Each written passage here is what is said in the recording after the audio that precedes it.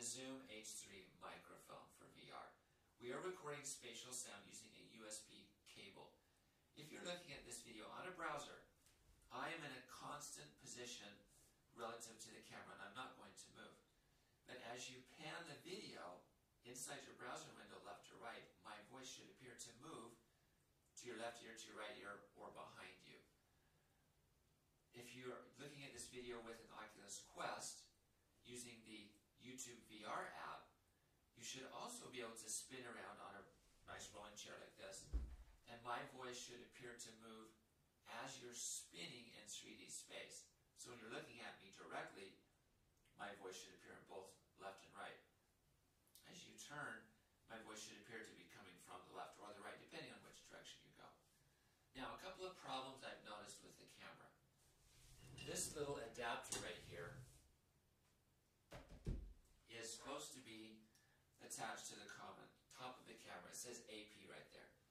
When I had this attached to my 360 camera, it introduced a popping sound in my external microphone.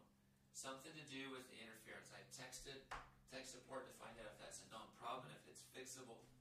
Anyway, it's unusable with this thing attached, so keep it in your pocket, don't attach it. Second thing is, when I first pulled up the app, the record button was blank. It said no media found. Well, all of the micro USB cards and the SD card were in place.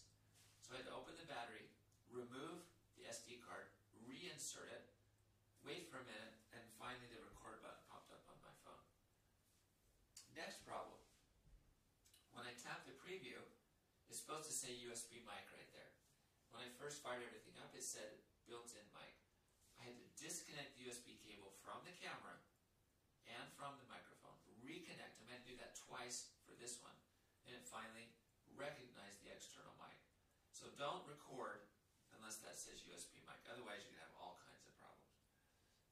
Thanks for joining me. I hope this video works for you as we try and demonstrate the wonderful spatial audio capabilities of this setup.